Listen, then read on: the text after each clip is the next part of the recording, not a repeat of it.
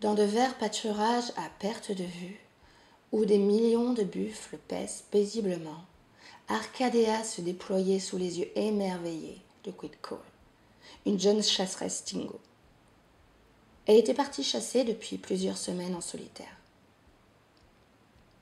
La jeune femme, tout juste 19 ans, svelte, de longs cheveux noirs, contemplait la beauté des paysages depuis une petite colline. Quidcole se laissait bercer par une douce brise sur son visage. Ses pensées allaient vers son clan qui comptait sur elle, et les autres chasseurs partis il y a plusieurs lunes. Quidcole était l'une des meilleures guerrières de sa tribu. Elle avait vaincu bon nombre d'hommes en combat singulier à la lance. Au sein de son peuple, personne ne remettait en cause la place des femmes. D'ailleurs, son clan était dirigé par une chamane très respectée par les Tingos. Les récits de femmes captives devenues des esclaves sexuels pour de riches marchands au sein de la Confédération des cités libres révulsaient au plus haut point les Tingos, pour qui le Créateur a le même amour pour les deux sexes. Les esclavagistes des cités libres écumaient Arcadea. Des clans entiers de Tingos avaient été massacrés, les femmes violées puis mises en esclavage, les enfants en âge de travailler également. En revanche, les hommes étaient systématiquement tués, leurs têtes séparées de leur corps afin d'être plantées au bout d'un pieu.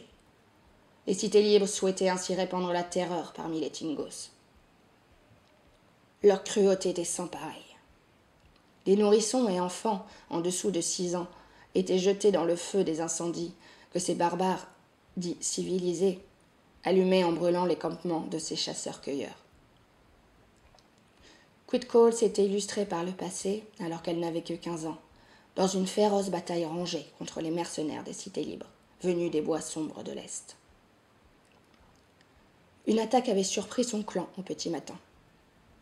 Les lances et flèches de pierre des guerrières et guerriers Tingos étaient d'une faible efficacité contre les armes de métal des envahisseurs. Mais leur envie de vivre et la rage qu'ils avaient au ventre avaient permis à la majorité des membres du clan Corks de fuir le massacre et la captivité. La jeune coup de Cole gardait les chevaux avec quelques guerriers des deux sexes plus âgés qu'elle, quand un groupe de mercenaires diaboliques les attaqua.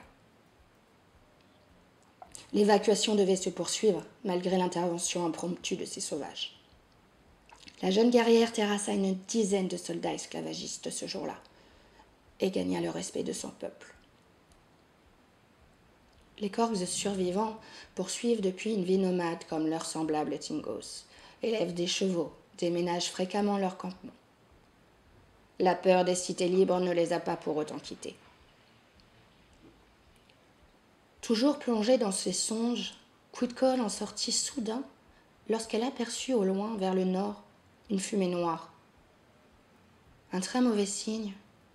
Il ne pouvait s'agir que d'un raid des cités sur les Tungos. La guerrière cacha soigneusement ses prises entre des rochers afin d'alléger sa monture et lança celle-ci dans une course effrénée en direction de celle-ci.